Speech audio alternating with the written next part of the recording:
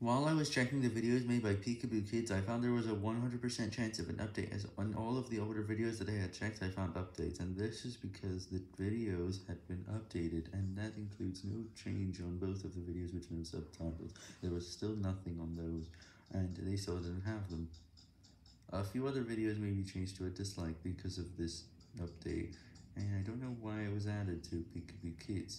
There's also a few other channels with an update, but that one's even worse a kids channel with a 100% chance of an update is not good.